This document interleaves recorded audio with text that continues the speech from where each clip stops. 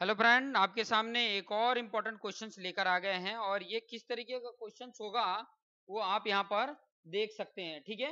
कैसे इसको सॉल्व करेंगे? देखिए, सबसे पहले तो क्वेश्चंस को लिख लीजिए, ठीक है? क्या दिया हुआ है question three n minus two one plus two plus three plus dot dot dot plus n तक है, ठीक है? डिवाइडेड बाय एन है ओके अब यहाँ पर देखेंगे तो ये थ्री एन है।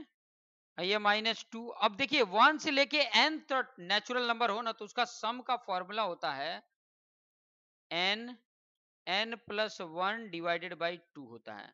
ठीक है, ये फॉर्मूला होता है। और इन सब के डिवाइडेड बाई टू है इधर। सॉरी एन है। क्या है? एन है। मैं लिख लेता हूँ एक बार। क्या है? एन अब ये टू और ये टू कैंसल ठीक है?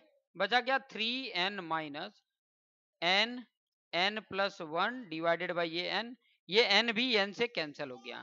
तो ये थ्री एन यहाँ माइनस से ये हो जाएगा माइनस एन फिर यहाँ पर माइनस वन हो जाएगा। थ्री एन माइनस एन कितना हो जाएगा? टू एन और यहाँ पे माइनस वन हो जाएगा। तो टू एन माइनस वन कौन सा ऑप्शन है? तो ए ऑप्शन आपका यहाँ पे राइट हो जाता है। तो इस तरीके से ये क्वेश्चन को सॉल्व करेंगे। ऐसे ही क्वेश्चन को सॉल्व करने के लिए हमारे चैनल को सब्सक्राइब करें। धन्यवाद। आपका खूबसूरत सा चैनल है, उसको आप सब्सक्राइब कर सकते हैं। धन्यवाद।